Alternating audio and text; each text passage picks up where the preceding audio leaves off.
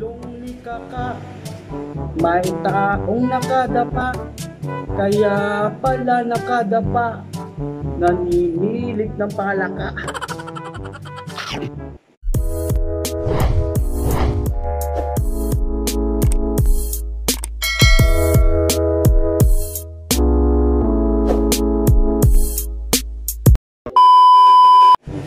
what's up sa inyo mga ka-Jompax? It's me again, ang Papa Mondreno and welcome to my new vlog. So, yun na nga mga ka-Jompax. For today's video, samahan niyo ako sa aking pinakaunang mukbang video at kakainin natin itong mga to. Piniritong palaka at ginataang puhol na may langka. So, ano pang hinihintay nyo mga ka-Jompax? Bakbakan na natin to. Kaya na nga, Umpisa na natin to, nagugutom na ako eh. Kanina pa ako excited kainin itong mga to. Pero siyempre mas masarap daw pag may kanin. Kuha tayong kanin. Wala nang diet-diet to, bahala na si Batman.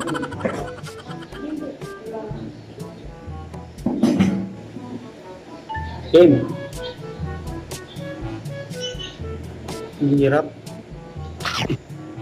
Sa ko yung weekly kasi Gusto ko konti. Yun.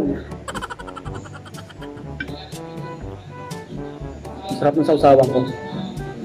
Toyo, suka, sili, bawang at paminta.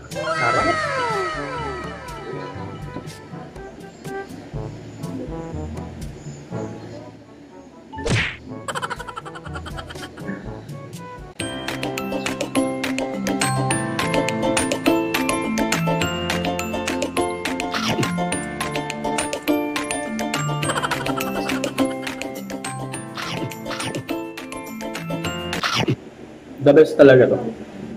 Lasang fried chicken. Sobrang na-miss ko lang to dahil matagal-tagal na rin ako hindi nakakain nito eh, nung elementary pa lang ako. Pasensya na dun sa iba kasi parang ano yun, medyo na medyo na cremate yung iba. Pero masarap yan, tostado.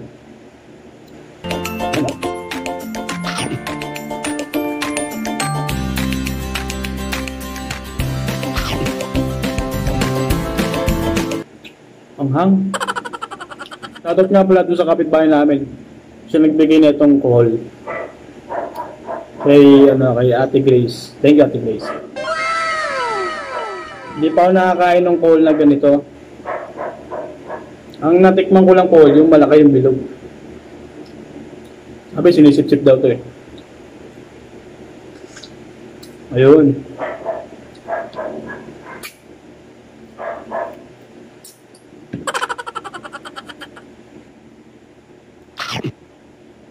May langtak siya.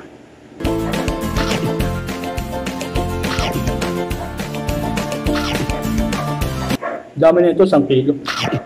Ako lang kakain na ito eh. Hindi sila kumakain ng palaka eh.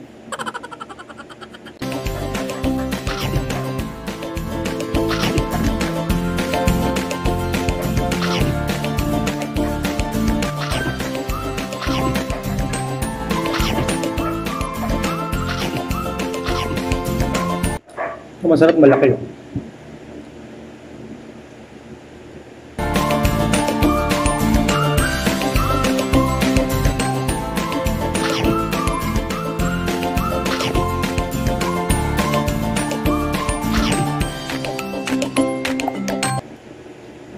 Masarap din to sa adobo. Kasi tinawag na ako mag-adobo. Promise, lasang fried chicken.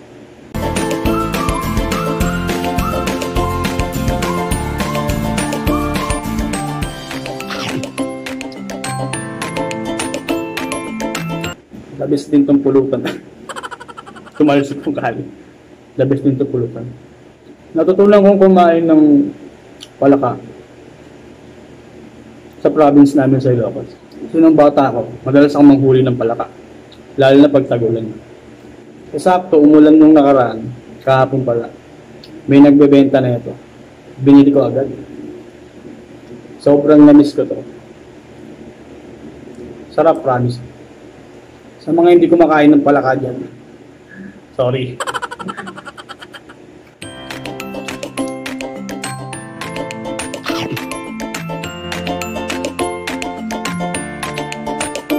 Ito malaki oh.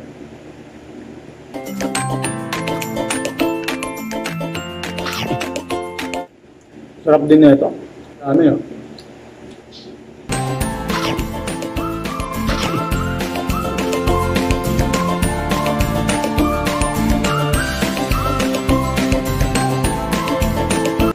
Malasa pa siya sa manok. Promise. Sarap. Sa Ilocos, maraming palaka. Sa Ilocos Norte. Doon ako nag-elementary.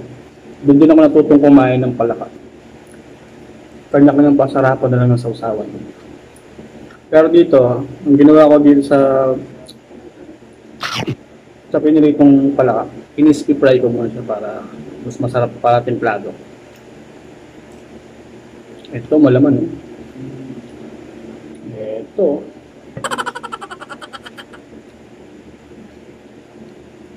Pa.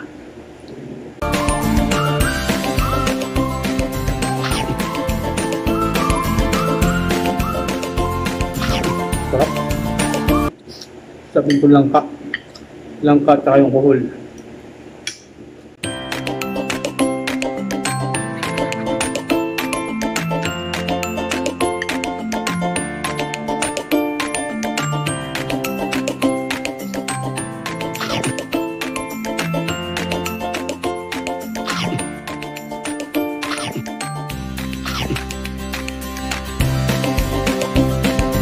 Kalat ko kumain. Ganitong ganito kumain ng kalat sobra.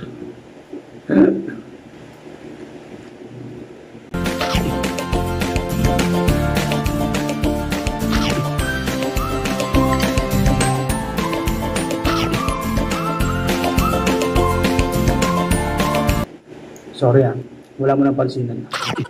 Galit-galit muna tayo.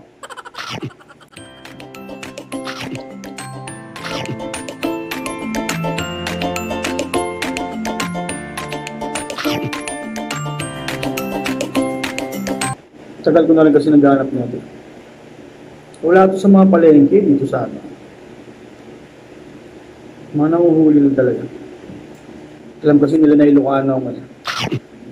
Ilocano mahilig sa palaka. Ewan ko lang ah.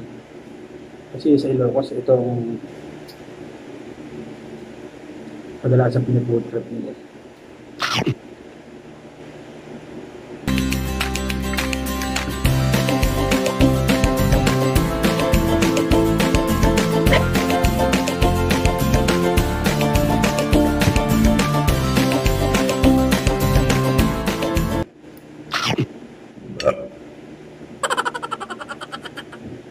Bilis ko mabusog.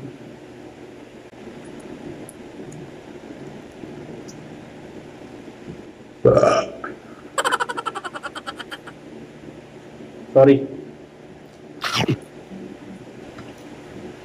Mas masarap na ito kung bagong luto. Bagong prito pa lang siya tapos yung malutong pa. Crispy pa. Kasi pagtapos ko kasi magluto, naligo muna ako bago ako kunain. Pero okay pa rin, masarap. Grabe pinagdaanan ko dito, maprito lang eh. Lumalaban eh, pumapalag eh.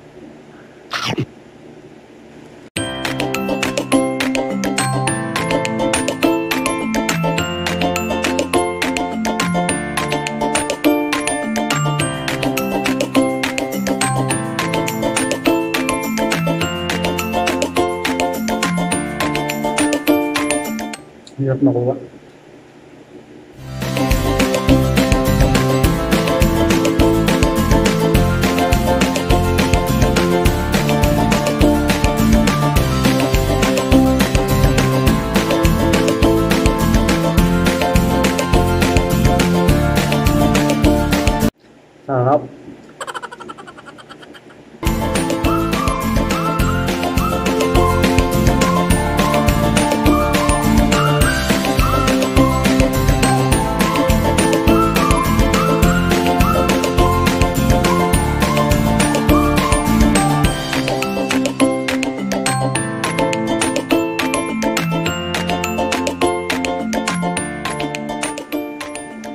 Kaway-kaway sa mga Ilocano dyan na mahilig sa palaka.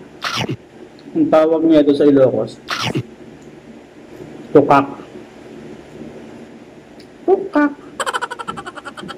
Hindi ba dapat pokak? Bitin sa kanin, kapatay kanin. Napapasarap yung kain ko ah. Laki ng muscle oh. Sa mga hindi kumakain ng palaka dyan. Try nyo, sarap. Lasang chicken joy. Kasi pag gawin natin na Manila, di na, di na, di na ako makakain ng ganito.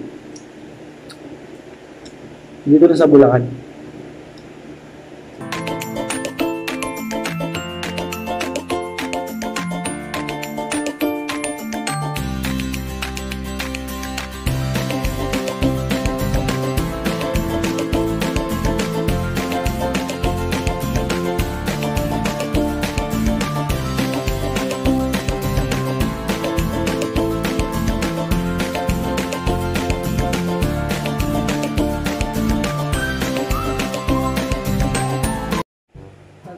Mga ka-jompaks. Yung tipong busog ka na pero gusto pa ng bibig mo. Pero hindi natin pwedeng itodo kasi baka mamaya may patcho naman. Busin ko na lang to. Yung natin na bibigyan sa kapatid ko. Sa Raven, kumakain siya pala. Sayang, dami. Isang kilo kasi ito eh. Namiss ko to.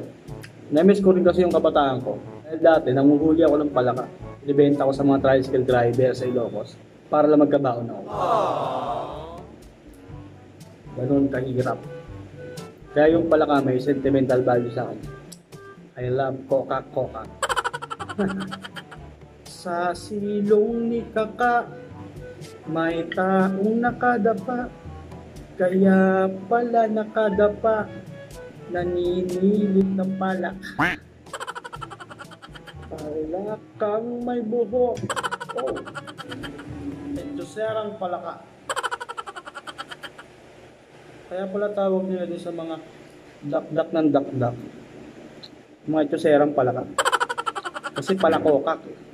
Di ba nga yung mga palaka pag tag-ulan? Kokak, kokak, kokak, kokak.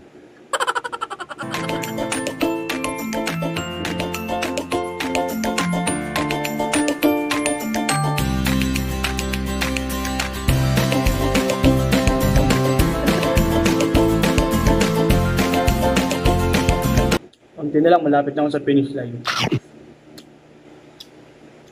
Grabe. Gusto pa, kaso busog na ako. Last na.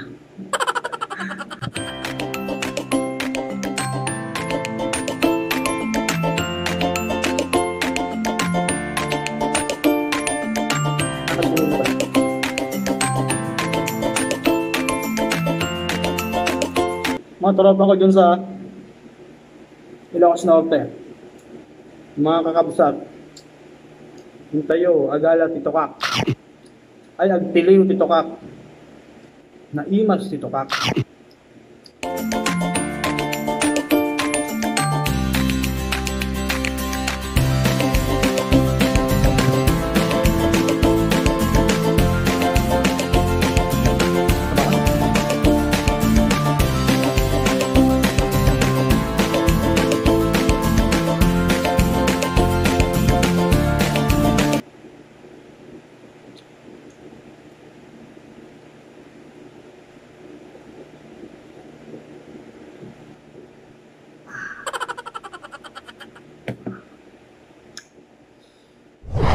Ayun na mga ka-jumpbacks. Dito na nagtatapos ang ating video. Grabe, sobrang busog ko. Dami ko nakain kanina. Gusto ko pa sanang kumain ng coca eh, kaso wala na. Full na talaga. Ayun. Shout out sa mga kumakain ng palaka at kohol. At shout out na rin sa mga nandire. sa mga, sa mga nagtatanong kung kinakain ba yan? O paano yun? Kinakain ba yun? Malinis ba yun? Malinis po yun guys. Inugasan po yun ng maayos at nilinisan bago siya iluto. Ayun, kami lang mga probinsyano, mga lumaki sa probinsya ang mga nakakaalam ng mga ganong klaseng pagkain. Pasensya na sa mga nandiri. Yan. Thank you. Salamat sa inyong lahat. Kung nagustuhan mo tong video na to, don't forget to like, comment, and subscribe na rin sa YouTube channel ko. At pa-click na rin ng notification bell para like yung updated sa akin ng bagong video. Ayun na nga, inaantok na ako guys. Babush!